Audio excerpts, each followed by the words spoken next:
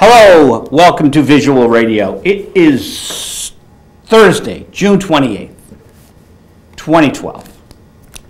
And let's see, 33 years ago, I played the Paradise Theater in Boston for the very first time. Ought to go back in time.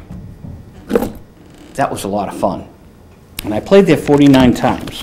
Tonight, we have Roxanne Fontana phoning in from London. And next week, we hope to have Jimmy Church, great guitar player from Nashville, phoning in. Dick Wagner should be phoning in in August. Steve Hunter might be the third week in July.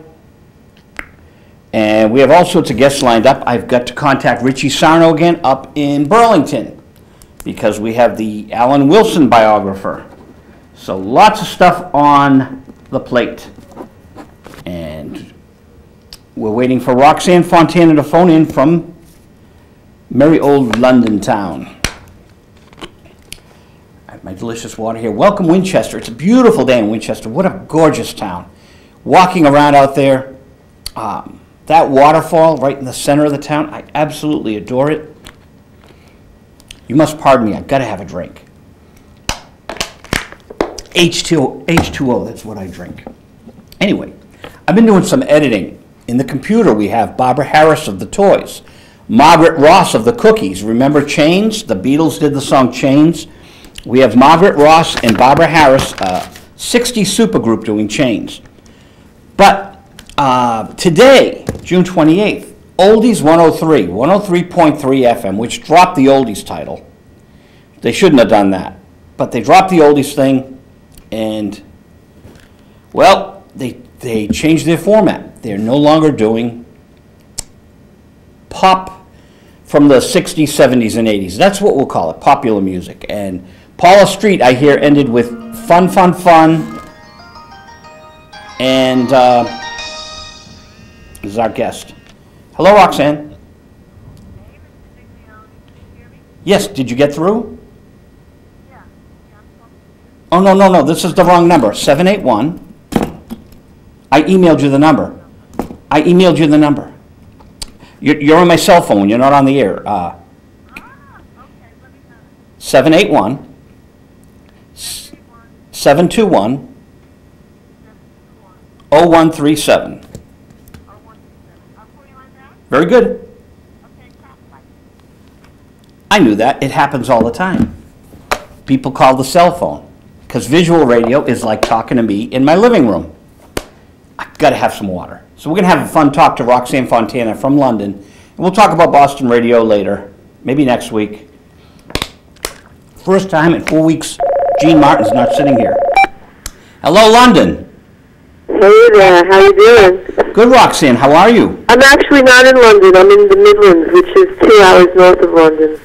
The Midlands. Yeah, you know, the Black Country, as it's called. Wow. I mean, that's exciting. For Yeah. me, it's exciting. Starting today, we had tremendous um, hail balls, like golf balls, falling. It was a pretty wild scene. And it, like, flooded immediately. But then it cleared immediately, so that's okay. So, Roxanne, do you think there's a global warming thing actually happening? Uh, yeah. I don't think that's all of it, you know. I think some of it's, um, I don't know. You know, there's all kinds of theories out there, but it's, it's, uh, geoengineering and all this stuff, you know? Have you heard about that? No. Oh, it's, it's like, uh, experiments with, uh, the air pressures and trying to make the sun hit back into space to prevent global warming, and there's all these things going on supposedly, and that's what's making things weird also. Geoengineering. I don't know what I believe, you know, who knows? I don't know what to believe anymore. I don't know if they have the capability yet, but it's a it's a lofty thought. Yeah, I don't know either. But it is, it was strange today, how, I don't know, you know, really big balls. You know, it all goes back to Frankenstein and the Pandora's box. You know. that's right, no political conversations. No, but I will say this: I can't review the new Spider-Man movie, but I felt very much uh, it delves into that whole Frankenstein theme. So I'll, I'll let our audience just ponder that. hmm Um, But that's why people make music. Like you make music, I make music. We make music to get away from. Exactly, to escape the, uh, the, the, you know, the horrible realities. So before I start asking you questions about your book and your music and all your lovely videos on the YouTube, Oh, thank you. I got this new Donovan double disc from uh, Sony, Epic Legacy, Sony. You know Donovan, hurdy-gurdy man, and Of course.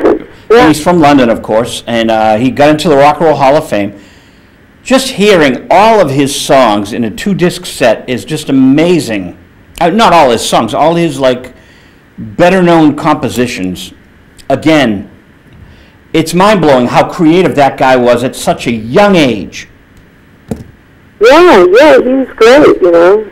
He's great. And what's the, it's, it's how long? It's two CDs? Yeah, it's two CDs. It's the best. And so do they have anything of him with uh, the French singer Zouzou? Because um, he's done stuff with Zouzou. Do you know who she is? No. Uh, she was a singer in the uh, in the '60s, a French pop singer, and she's fabulous. And she did some Donovan covers, and I think they did something recently. I wonder if that's on there. I don't think so, because I don't recall it. And they didn't. And Anthony DeCurtis, one of my guests, he's on Facebook. He um, he wrote the liner notes, but there was nothing conclusive if it's Led Zeppelin playing on Hurdy Gurdy Man. Oh no, I heard that it wasn't actually. I, I don't think it's uh, Jimmy Page, even though it really sounds like him. I don't. I heard that it wasn't. It's only John Paul Jones. I think he might be on there, from what I heard. I met Don years ago, you know. That's Really? my book too. I think everything's in my book. Uh, Oh, well, let's start with your records. That's how I met you. Uh, right. When you worked with Dino Danelli, that was certainly not your first record, right?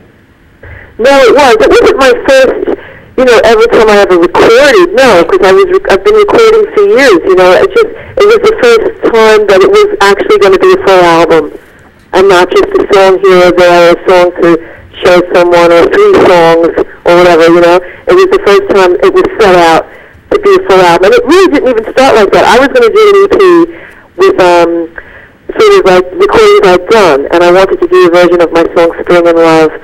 because I could never get a good version of it whenever I recorded it on my own. And I wanted it to sort of sound like blues, pop rock, like the Rascals. And so I tracked Zeno down, and then he said, we're going to do a whole album, and we're not going to do anything like what you think it's going to be like. We're going to do it this way. And I, you know, and I was really not into it, but I love the end product. You know, I think it's, he did a great job with it. But it was all about that song, Spring in Love.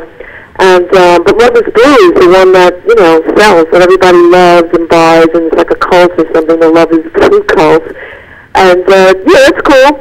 But um, yeah, that was the first album.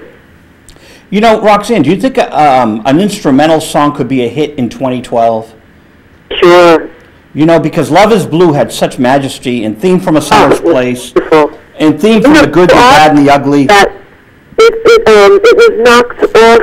No, it knocked uh, the the Young Rascals song off the number one spot with Love Is Blue. So that was a trip also for like me and Zeno to be doing this thing together. You know, to be doing a cover of a song that knocks off. I think it was It's a Beautiful Morning knocks it off the number one spot. Isn't that strange? It's a beautiful song.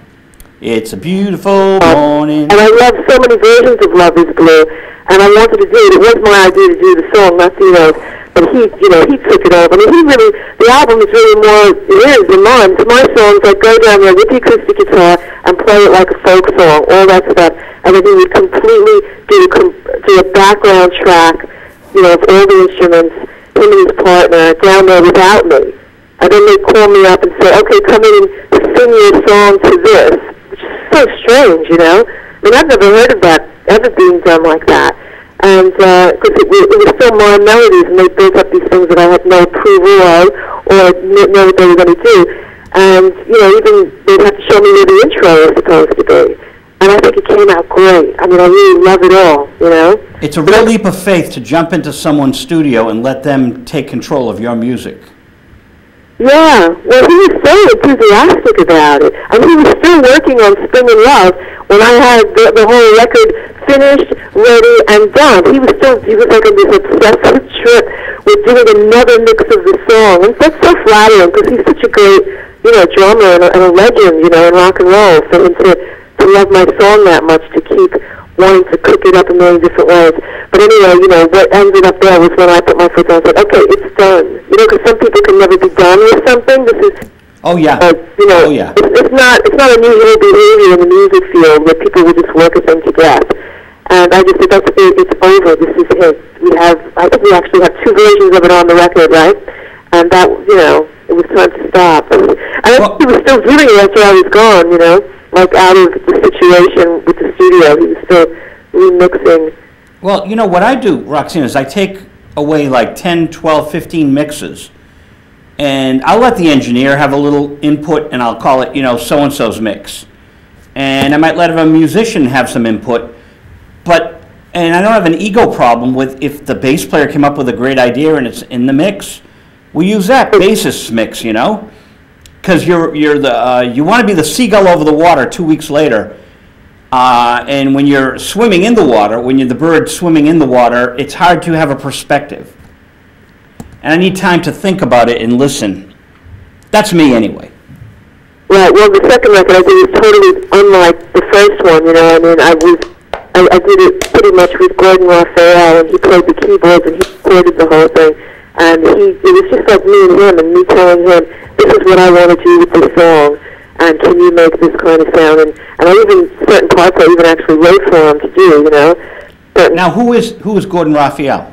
Oh, Gordon's great. Gordon's from Seattle, and he was with a, a few popular Seattle bands, and then he produced the Hit Strokes album, right? And I think he also discovered Regina Spektor. He's really cool. He's so talented. And um, so he did all these things for me, you know, and he was really um, encouraging and everything during the second album. And I prefer the second album to the first album. And what year was that about? Hmm? What year was that about? Oh, it's uh, 2000. 2001, 2000 or 2001. Oh, wow, when did we meet each other? Around 1999? Yeah, when Love is Blue came out, you reviewed it, and that's how, you know, we got to know each other.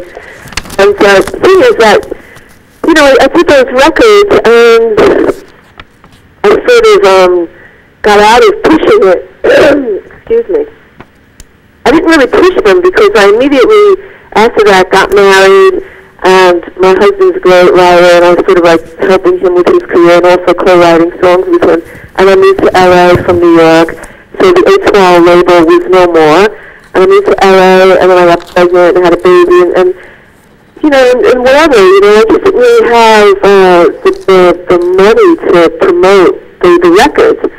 And then years later, about five years ago, I just started going through my old videos, and I took them out, and, and I said, well, maybe something here is good for YouTube, you know. And I was surprised because I thought at least, you know, a handful of them were. So I put them up, and then all of a sudden, all this blue started selling out of nowhere. And it sells more every year since it's been out, since the year before. Do you know what I'm saying? You mean on iTunes and I'm stuff? still, I'm still putting it out there because people obviously want it, you know. Wow. You know, I'm with people forget it, right? People want it, and and it's like every year it's more and more. And, you know, I check my my sales, and it's it's always Love Is Blue, and then slowly the second album is starting to come in, which is really strange. But whatever, you know, I'm just I'm just following what's happening. So that's Now- cool. And then what happened last year was, you know, we thought, well, let's go to the south of France and try to do some Scope Scopitone style videos. You know, those from the old days. They're like really low, super low, no budge. Never mind low budget, no budget. You know, sort of things. And just try to capture something and just be into the song, right? Yep. So we did them, and I thought, like, we did like four, and I said, well, if one of them's good enough, then we'll have succeeded. And then I came back and I watched them, and I really, I loved all four, you know, not to sound vain, but I did. And so put them out there, and people love them, so it's like great. And then we did Green, which was to a recording I did a long time ago, that I had remastered and did something to that, and that's really popular too, you know. So it's it's um it's not a conventional way that I've been doing things, but it seems to be floating along somehow, you know. And then the book, of course, you know, I wrote the book so I could get people interested in the music, but now it's like the book is, you know, So what's the title of the book? maybe, you know, I don't know, What's the book title? American Girl. American Girl. Um, I want to go back to The Color of Imogene Whim. Mm-hmm. I like that video. I put it on my Facebook tonight. Yeah, thanks. Yeah, it's a great song. I wrote that so long ago. It's such a great song. It's like a real quintessential 60s influenced pop song. Now, where was the video cut? Shangri-La's-ish, you know? Hmm? Yeah, where was the video done? Oh, and that's just pictures. It's just pictures, um, Oh, okay, I liked it a lot. I liked, no, that was just pictures from, I think, the 80s, because, yeah, I did an EP, I remastered stuff I did in Holland. They recorded in Holland about four or five songs, and went back to New York, and, uh, I had some labels interested, like Capitol Records in LA, and they had meetings with me, but they didn't want to fly the band into New York City to see them, and the guys in Holland is sort of like, you know, we're not going to spend money and go to New York. Right. You know, they just didn't want to do that. And uh, so Tony Bongiovi actually bought all of those masters because he loves it. You know, and he's come, come to see me play, and he said, oh, you're great. So he bought all my masters because they were left in Holland. I couldn't afford them. And he bought them, and he had them sent to New York City, and we were going to do something together, but then he retired. You know, which is like all these stories are in the book, and all these, these funny, crazy things. But I had this thing thanks to him. I had the original, so I had it remastered, and I just put it out last year. You know, sort of best of the '80s, best of my '80s, anyway, right? I was hanging out with Tony back in '95. Where is he? I haven't, I haven't heard his name in like 17 years. Yeah, yeah, he um, He had that great studio. uh, he's the best. And he would tell me stories that he was in the studio when the Supremes were recording Love Child. Like that's how he got his start, was just being around there. And uh, that that really that thrilled me, you know. And I was so honored he liked me because someone from that kind of a background, you know. I was working with a band, Blacklight Rainbow, out of Philadelphia, and they had rented his power station. Was it? Was that him? Right? Yeah. hmm And they had the downstairs of the power station, and these guys were doing really great work, and they kept erasing it. And I said, "What are you erasing it for?" Oh, we're only practicing. And, and Roxanne, they didn't get it. The practicing was actually better than the finished product. They were erasing these incredibly great takes. But it was downstairs. They were renting from Tony, and I was upstairs, and there was ACDC just hanging out because they were making their record there. That's the way it was at Tony's place, you know? Yeah, I think I was there. I think um, Eric Clapton was making a record there, and uh, George Harrison was around and all that. And, and when I had to go and Sony for my tapes, it was uh, it was a good studio. It's, I don't even think it's still around, is it? No. Now they're all closed down. It's a terrible time. Uh, people are recording at home, and the, the sound quality. Well, I really like. I really like that song. Was that from the '80s uh, that I just mentioned? Imagining Him? Imagining Whim. Yeah, I recorded it in Holland in the mid '80s. Yeah. That was the Holland track. That it's really no wonder Tony liked it. I liked it a lot. Yeah, that band was incredible. The band I had in Arnhem, they were just really amazing, slamming. Well, you know, The you, hardcore soul that was that really rocks out. you, you mentioned it in Zouzou. There's so many great singers that Americans never really heard about because, and, and other countries never heard our art really, uh, unless they were connoisseurs and bought records from overseas. Before YouTube, before, yeah. mhm. before eBay, so it was a lot harder for people to um, understand all these great scenes happening all around the world, which now, of course, we're very tuned into. Yeah, well, you know, everything's so different now. It's, well, it's better in a way. I mean, you can tap into things and everything seems like it's fresh again because I think the era of the music of the 60s and the 70s and the 50s, probably in that order, but then even 20s music, everything just seems like classical music is, you know, where Yes. doesn't matter. It's, it's, you know, in the 90s they called it retro, but you know, people don't call it retro anymore. You know, we, we, we should get rid of all these stupid labels, retro. You just listen to what you want to listen to and what you vibrate towards. You know, if it's Jimi Hendrix, it could be then, it could be now, it could be any time, right? Right. If the music, the music lives on, you know, he's gone, but, but you know, what mattered about him was, was what he did, you know, the music. And that, you can tap into that now, just the way people are allowed to listen to, you know, Beethoven, you know. You know what I'm saying? Yeah, but I do like labels. I like um, space age bachelor pad music. And I like Northern Soul. Are you into Northern Soul? Yeah, yeah. you Because know, you're up there in the Midlands, right? Isn't it? it is, yeah, well, you know, North is here, but you know, I just, I have a problem with like modern British pop music because I think what made it, you know, what put it on the map was sort of imitating black American music and it sort of lost their way, you know, and you know, call it Northern Soul, but it really like Black American music? And the best British music was, was you know, the Brits imitating the Black Americans. It just that the mixture is, is what is, was so special. That's why it became so, you know, famous. Hey, you know, Ray Davies, Ray Davies is known for that You Really Got Me riff. You know, it's just like, you know, when, uh, when Steve Marriott was still alive, um, they asked him about what he thought about, I think, uh, Paul Weller and the Jam, and, and he said that they looked great, but it, wasn't, it didn't have anything to do with the kind of music he was doing. And it, and it's like a real punch in the stomach in a way, but it's, it's true, you know, because that's the thing, you know, the, the best British music is interpreting black music. Maybe the best white music is interpreting black music, no matter where you're from, you know? Well, that's my point about, you know, Ray Davies had that You Really Got Me riff, right? Yeah. But you know, he got it by fooling around with Richard Berry's Louie Louie. hmm So we, we all think of this great Ray Davies stroke of genius, but he was just messing around with the guitar, playing Louie Louie, and made it a little bit more, changed the tempo and made it a little harder. And you got You Really Got Me, and All Day and All of the Night. And all those great, And those, those become monsters on their own. They're their own monsters, you know? well, they seem like that they are the pioneers when they're actually a reflection of the black music of America. Right. hmm And it's great. It's great how it It isn't mutates. that new now anymore. Like, no, I don't know of any of anything like that, which is crazy because it was like that for so long. But I mean, I love good pop music too. I mean, I love Duran Duran. They're not really like American black music, you know? But they record their records right here, you know. Right up the street here. They come, what's they, they deal, they uh, work uh, with a guest of mine um, from the band Astra. So Anthony Resta, and he, he's recording a lot of the Duran Duran stuff. He's been working with them for years.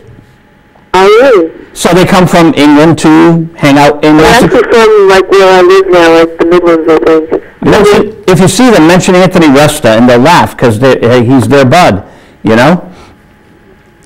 You'll see his name on their records. Oh yeah. Yeah, but the, uh, he has a lovely loft in, uh, in the mill factories. In the old mill factories, it's a gorgeous studio, and he's a good guy. But, you know, it's funny that Duran Duran comes here now to make records. Or they ship the files here, you know? Right. You can ship files anywhere. That's true. That's you know the glory of the age of Aquarius. And Dropbox. Mhm. hmm Uh, so, when did, did you write the book in like, uh, you just I wrote decided, a book in one year around the same time that I recorded Love Is Blue. and did you have notes with you, or you just, I've been keeping journals since 1975, so it's not all my memories. Ah. so, and, and also I'm used to writing because I've always done that. You know, I mean, I can sit down for hours at a stretch and write. That's it's like glorious. Just just write, just write about whatever. You know, anything. yeah. and uh, anything and everything. So I was sort of used to doing that kind of thing any, anyway. It wasn't just like, well, I'm a musician and I've had this, this interesting life, so I'm going to write a book. I, I've been writing the whole time. And then that year, though, I said, okay, I'm going to write this book. And I really, you know, I really wasn't completely into to, you know, this sort of like putting my whole personal life out there like that, you know? Because I'm not, I'm not really like that. And, uh, I spent the whole year pretty much full time, like every day, because that's what you have to do, you know? I mean, what is it, like 360 pages long or something? So I really had to put my mind to it. So I was doing it every day for about a year, around the time when I was doing the record, but when I was doing the record, as I told you, I just went in, put the tracks down, came back and did vocals, fought with Dino, it was over you know? And so I had time to write this book until it ends in 99, which is, which is really interesting, and I didn't know it at the time, even though I intentionally ended it there. But what's interesting is, you know, at the end of the book, it's like I meet Prince Charming, and then my whole life completely changes anyway.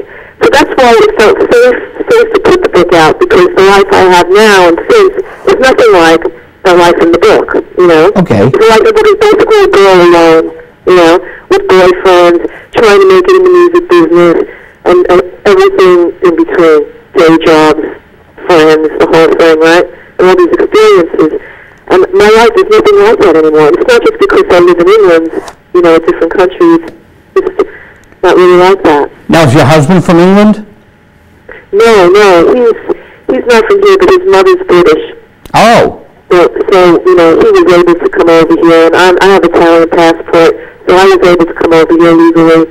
So yeah, so you know, it was, it was easy. It wasn't like, you know, typical Americans going over to England to live. Now, I reviewed his record at the same time, didn't I? Yeah, he had uh, a, an EP that was available, but those, those are really just, you know, demos of this record that he's supposed to make soon, we hope. Oh, with um with Jack Douglas producing, which is going to be like to me the record that's going to save rock and roll because the songs are great. You know, he's a good singer. He looks good. He's young. My husband, he's 20 years younger than me, so he's got 20 years of suffering to do. so you know, so that's cool. But yeah, I I hope that you know it all works out because the songs are really good. So we're just working on that here in England. oh, that's marvelous. Yeah, it's really exciting, you know. Uh, yeah, even Bill Wyman is going to play on one of the tracks on the ballad. You know, I wanted him to do because I just felt like the song was like that, and uh, we asked just people and they wanted to hear the song, which was great because I knew that he would be that way. Because I've met Bill a few times and he hates new music. He thinks everybody sucks, you know. So, but I, I felt confident enough in the song to, to show that to him and have the audacity to ask him, you want to play bass on this? And he came back immediately and said, yes, because the song is great. It's a ballad, and uh, you just hear it. You know, if you know music, you can hear it. This is a great song. So it's cool. So, you know, we really want to do his record. I'm just a co-writer. I'm not going to play anything on it or even sing on it. But I just, I co-wrote about half the songs for that. So- Who's going to be singing? I was reading and all of a sudden my thing starts to happen. I did these videos and like put the lights on so because this thing with me was really unplanned, you know. I mean, people that sort of came on board and discovered me were saying to me, "You have that book, so put it out. Don't keep plugging it to a publisher or something. Just put it out. This is the end of the age. Out as an ebook and put it out." And they really inspired me. Certain people that that are into my stuff, you know. And so I did it that way, and it's getting good reviews. You know, people like it. I hope you like it. Did you read a bit of it, or? I've been so busy, I'm honest with people. I get so many books, I just don't have the time, Roxanne. I, it's amazing I have the time to edit and do this show. You know, but I make, I, I just carve a little time out every week and do the show. Mhm. And, you know, and, and you tell your story and people tell their story and, um, I, I would love to read books. I have no time to read books. A little on the treadmill sometimes, but see, you sent me an ebook. So that's even harder. If people send me a hard copy, then I, I force myself to read a chapter, you know? Oh, I'm totally, yeah, I'm with you on that. I hope it comes into print. I, I think it's going to come into print like within the next six months. I think I explained it to you. I explained it to everyone. If you send me an ebook, um, you know, it's very tough for me to get to it. But so on the other hand, you could just sort of go to find and look for something you may want to read, and then if it's good enough, you get like drawn into it and want to read more. Well, there's what, six billion people on the planet, and half of them are on the internet. So uh, the marketplace is huge. It's monstrous. Well, it could be a good time, you know, it could be a good time for the economy, but, but things are strange out there, you know, it's, uh, it's, it's a strange time for everything. Yeah, I liked what you opened the show with. You were telling me about this geo, what is it called? Geo, Oh, geoengineering? geoengineering. It's so weird. Um, No, I have this theory that just like mankind's been committing suicide since the Industrial Revolution, and if all this is happening with this geoengineering and, and all of that, then, you know, they've really thought it could do this time. This may really do us all in, you know, because we need our sun and we need our natural weather, and, you know, whatever, you just have to try to have a good time every day and make people aware, and maybe, maybe we can change things. Maybe they're not meant to be changed, you know, maybe oh, they are meant to be changed. You've heard about the tipping point. Do you know what the tipping point is? the tipping point. Yeah, I learned about that from Ted Koppel on that one, right? Well, in science fiction, uh, a race of people, the human race, reaches a tipping point where they either graduate from the college of life and get to the enlightened next level, or they cease to exist and they are replaced by another matrix, you know? We've done it. You know, we've been doing it for thousands of years, right? But the thing is now is the technology. You know, if, if there's a you know radiation explosion from Japan, we're all gone. So there's no time to say, oh, let's do something else, because if the technology is there, that man can really commit mass suicide. You know, and that's that's very scary. Well, think about all the radiation, the radiated products that are floating across the Pacific Ocean into California and Alaska. What's it doing to the fish? All from the tsunami. And what's it doing to our environment? And There's going to be radioactivity on that stuff. Is, and all that means is that you die of cancer. Okay, I, I read something that you know people in British Columbia, like the cancer rate, it was up forty thousand since the earthquake. I don't know if that's true or not, but if it is, there you know what I'm saying? Yep. It's just a matter of time.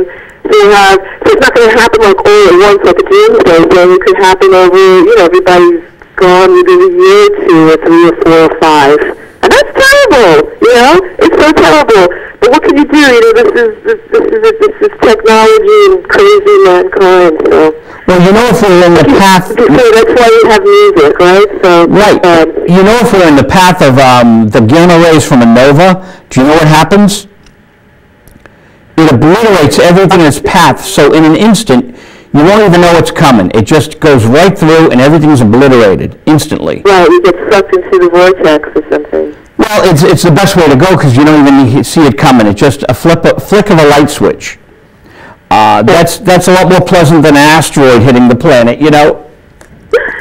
Yeah, last year I was convinced we were going to have some sort of, uh, what was it? I don't remember. Some asteroid. I was really convinced this was going to happen. I was actually out there, but I think the sun blew it up or something before it came to the earth. Well, just we're, we're so barbaric, and even the enlightened ones of us that are less barbaric, you've got people um, in older cultures killing magnificent turtles, and they put it up on YouTube, and it's horrifying to me, desecrating life and these ancient species that are dying off, and people, they're just too illiterate to know better. They're unenlightened. Well, you know, you can say that, but you know, there was a big um, brouhaha about. I think it was the king of Spain or something taking trophy pictures with killed um, rare animals in Africa, and they, it was so, so. You know, that's not necessarily. That's a guy that spends a lot of money to kill. A, a, you know, it's nuts. It's just nuts. not only him, a couple of sons of one of the uh, uh, candidates for office. I'm not going to say which one. I have a good idea which, but um, a couple of sons were doing the same thing. These rare species, they go and they hunt them. Yeah, this is like you know, I don't know. Oh, and they go shoot an elephant, which are very familial, and and, That's and not really true. It just, it just gets me really angry. But, but, you know, what can you do about people like... you can write a second book. I'm serious. You can write a second book. Outrage. I mean, that's why we, we- Ah, no, I can't get into that because I, it's just too, um, it's too, I don't know. I start reading like John the Baptist, you know, I mean, what for? People, you know, everybody has to save themselves, right? Hey, Roxanne, what's your website again? Viva Fontana, 1959.com. V I V A Fontana, F O N T A N A right, 1959. 1959.com, and I'll say it again uh, later in the show. Viva Fontana, 1959. So you like 1959? Of course, it's the year I was born. Five years after me? Yeah? Um, cool. Yeah, it was a good year. It was a good time to grow up. You know, that's Hey. You know, the you know the '60s, that era, whatever the golden age of, of modern pop culture is probably the way to go down in history. To be a child, because the people that were the movers and the shakers, they were the kids of the '50s. You know, but my generation, we were the kids of the '60s. You know, and it's it's a whole thing. You know. Oh, yeah, well, you and I are in the same generation. Um, Yeah. and, and it was a marvelous time. Marvelous, marvelous time. especially to be living in the city. You know, I don't know where you live, but I lived in Brooklyn, and it was really alive, and everything was coming through. And I'm so lucky that I was in that environment during during that era. Just way I was lucky to be going into the city during the punk rock era. You know, and I'm so glad I did all that. Did you meet Robert Francos uh, in Brooklyn? He lived there. The writer? No, Has he ever, has he ever reviewed your records? no, I didn't know him. Oh, he lives in Canada. I'm going to hook you up with Robert Francos because you both lived in Brooklyn at the same time. Yeah, it was. He's a cool guy. it was it was a good time. You know, Patti Palladin, she's from just like a few blocks away from where I was from. She's from like Avenue O, and I was on Avenue M. You know, Wow. and and that was during the '60s. And then years later, of course, in the late '70s, I used to go to Max's, and she used to sit in and um, you know do stuff with Johnny Thunders, and I saw all of that. And then I just, you know, so I always knew who she was, and I just met her in the past, whatever, five, ten years, and she told me that's where she's from, Avenue O, and it sort of blew my mind because it's from that era. It was a really great time then. It really was. The Johnny Thunders Yeah. was fun. Yeah. And we're losing so many people now, too. It's, it's just amazing. You know, Dobie Gray and uh, Donna Summer and Robin Gibb, and a lot of these icons are falling. Yeah, it's very sad. But like I said before, the music, the music's always there, you know. The, their music is always there. Yeah. So, are you going to tour at all? I don't know. You know, I don't. I don't really know.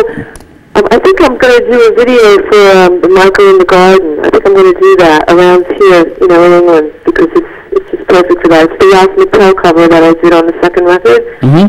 I think I might do that, and then after that, I don't know. I'm, just trying to get people to read my book and maybe do another record. I mean, I'd like to do another electronic record. You know, to be honest, because you know the way I did Love Is Blue. I would even work with Dino again. I mean, I would do that, or, or somebody else, but do that kind of um, do that kind of sound because it's, it's really interesting. Now, is Dino still in touch with you?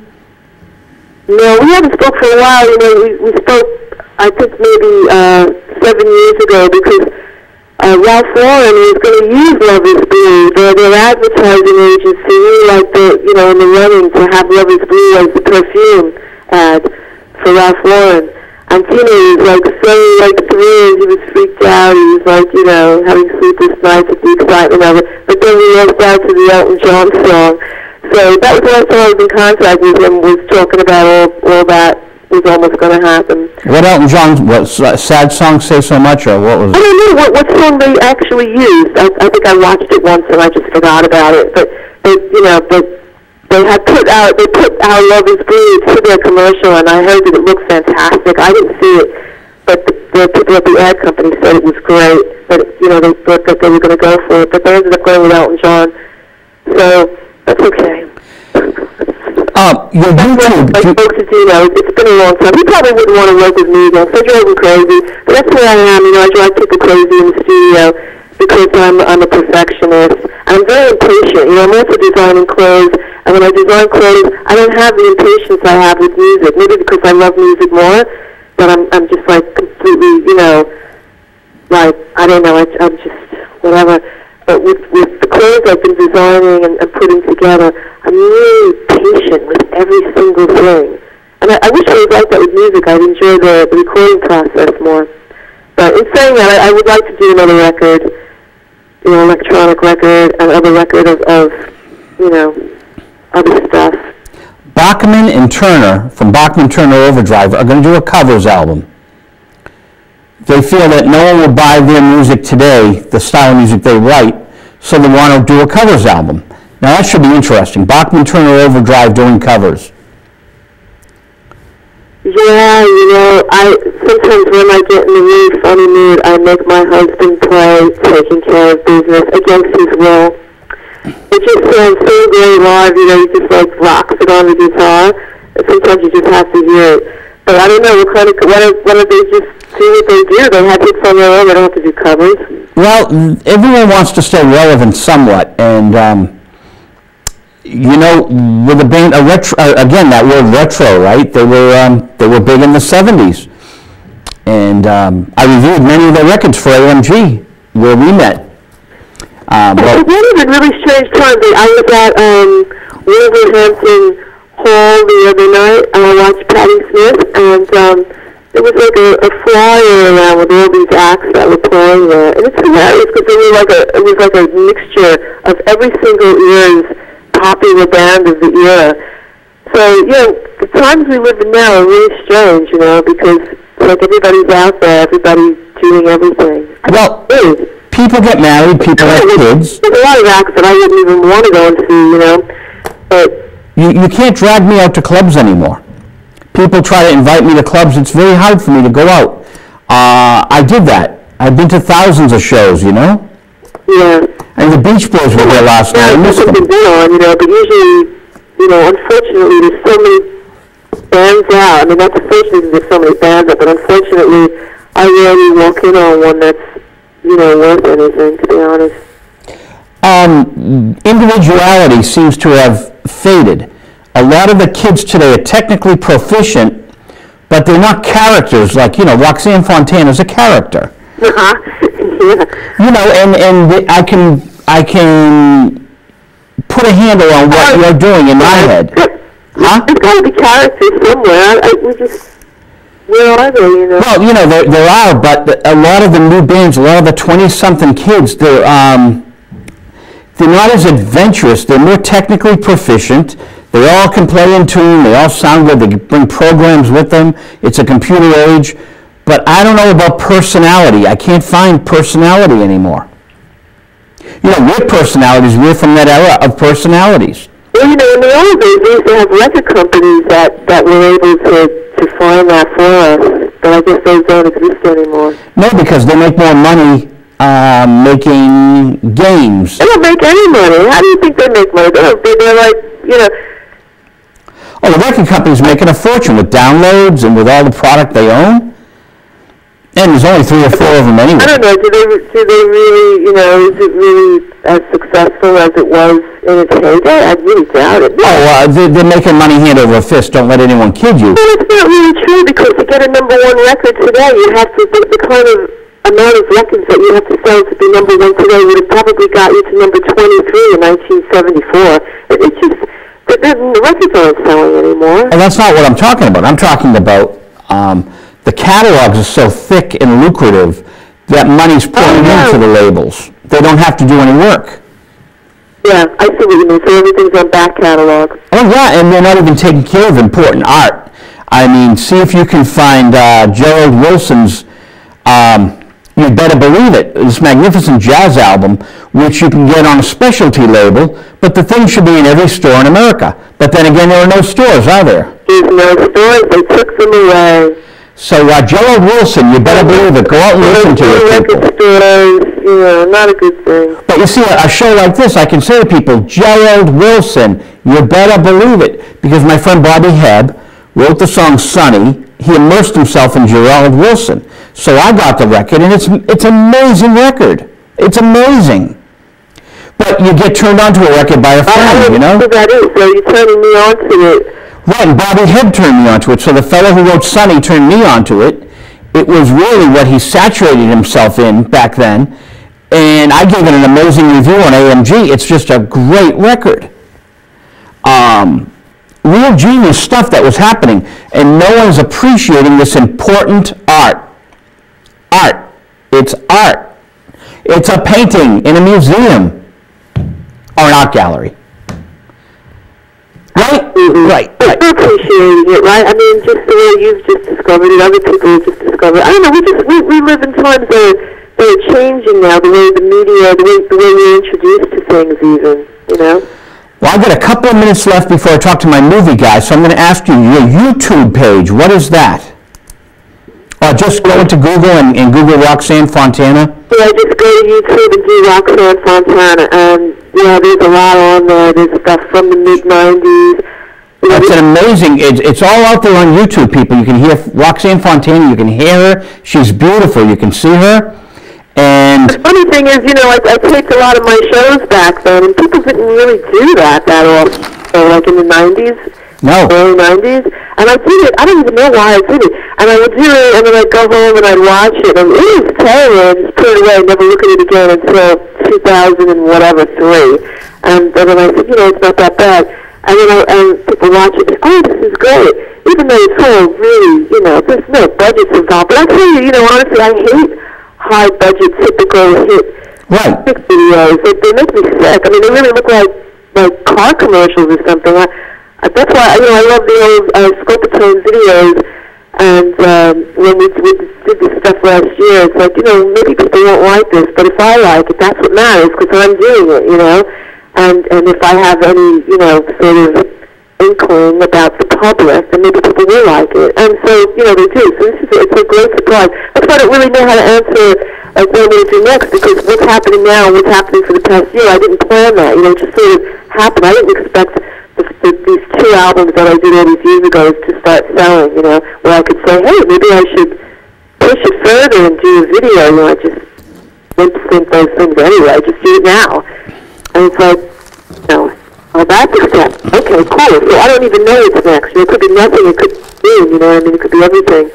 So, but it's cool. It's cool. And I'm so, you know, I'm so glad that, you know, I'm talking to you and you're putting it out there. It's, it's great. Thank, thanks for being with us tonight. I have to get to The Woman in Green, the movie, but your website is vivafontana1959.com. Roxanne, thank you so all much. my, all my things are available through Cool, cool, cool. I, um, Roxanne, we'll talk later. Okay. I cut you off on purpose, there's a reason, and I'll tell you later. Oh, I know. I remember it now. Okay, good. Viva Fontana, 1959.com, and Google oh. her, and you can get the, the- see all the free videos up on YouTube. Yeah, cool. Thanks, Roxanne. All right, ciao. Bye. Bye. Roxanne Fontana.